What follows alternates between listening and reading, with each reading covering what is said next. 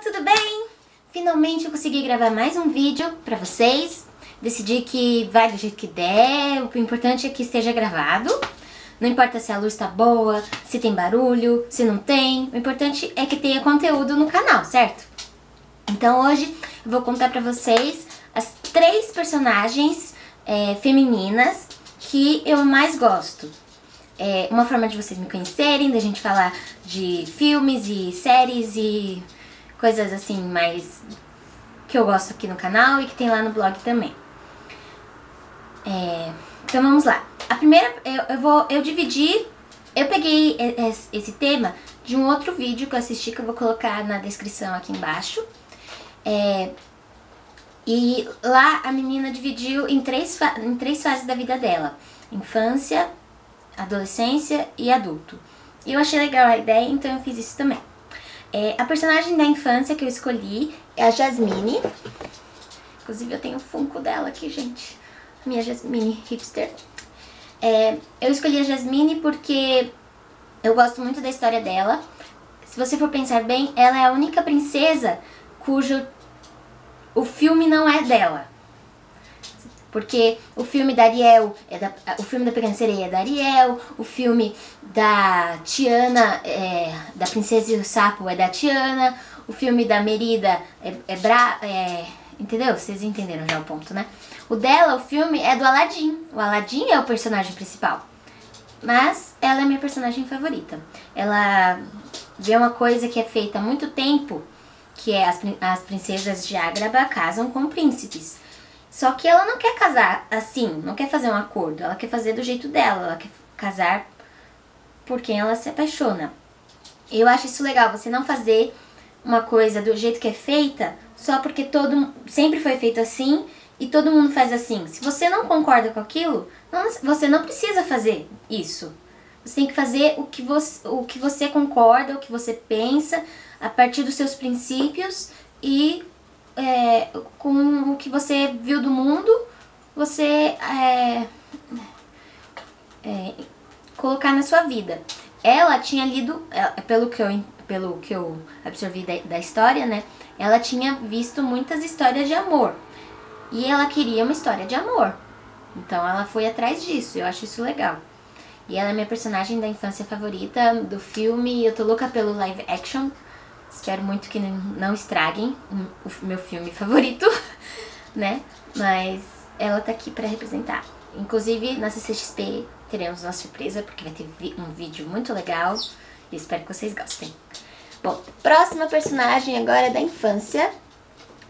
Vamos lá, a personagem que eu escolhi é a Hermione. Óbvio, né? Como boa Potter, Potterhead que eu sou, eu tinha que escolher Hermione.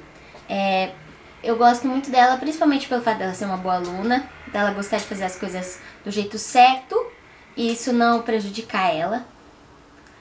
É... Ai, gente, o Billy quer participar do vídeo. Aqui, ó. Pronto. Mostra pra mostra você todo peladinho pra todo mundo ver. Pronto, gente. Aqui. Já apareceu. Agora vai fazer outra coisa. É, pronto, voltando ao assunto. Ela ela gosta de fazer as coisas do jeito certo.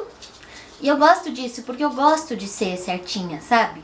Eu gosto de fazer as coisas do jeito certo. Quando eu tava na escola, eu gostava de não colar. Eu gostava de estudar para a prova e tirar a nota que eu achava que eu merecia. Embora às vezes eu tirasse uma nota menor, não era bem o que eu merecia, mas tudo bem. Eu gosto disso dela fazer a coisa certa e ser certinha e conseguir ser uma heroína. Isso não fazer ela ser menos corajosa e não limitar as possibilidades dela, entendeu? Eu gosto disso. Para, eu tô gravando. É, bom, próximo agora é a personagem do da vida adulta, né? A personagem da vida adulta que eu escolhi é a Daenerys, aqui. Eu comecei a assistir Game of Thrones em 2014. Eu assisti a primeira temporada, metade da primeira temporada. E, tipo, já gostei de cara da Daenerys, porque ela, ela é a irmã mais nova do Viserys, né? E ela tem medo dele e tal. E aí, quando ela casa obrigada com só um minutinho.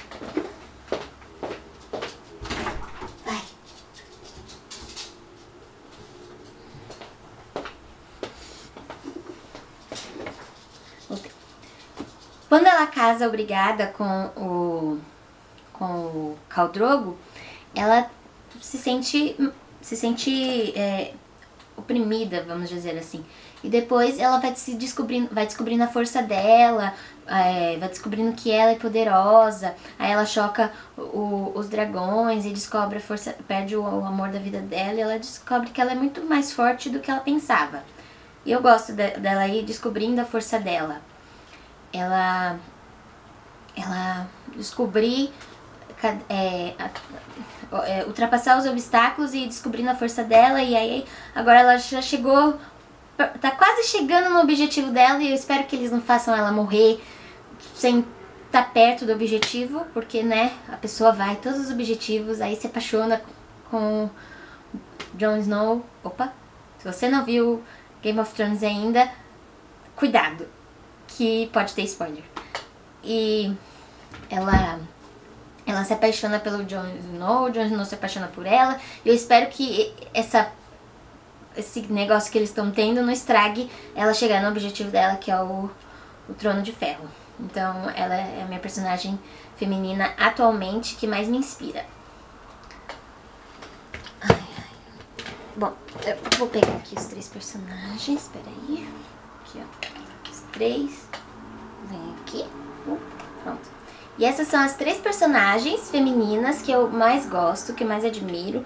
E através delas é, é uma forma assim também de vocês me conhecerem, sabendo o que eu gosto, o que eu não gosto, blá blá blá. É... Eu tava pensando em ter um jeito de chamar vocês, sem ser oi pessoal. Se vocês gostarem da ideia, deixem alguma sugestão aí nos comentários. Não esquece de curtir o vídeo e assinar o canal. Beijo e até a próxima. Tchau!